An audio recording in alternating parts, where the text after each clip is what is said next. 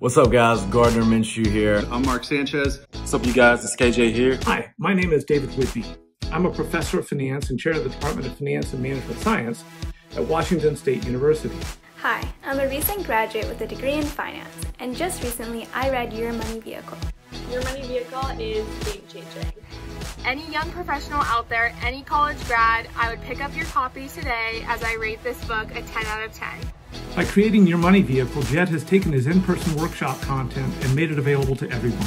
It helps answer so many questions I had around money and personal finance that I was never taught in school. So our question of the day is define opportunity cost. What is the golden rule of money? Is $1 today worth more than $1 a year from now? After reading this book, I opened a Roth, I changed passwords I've had for many years, and I was able to implement the money bucket system so that I could budget better.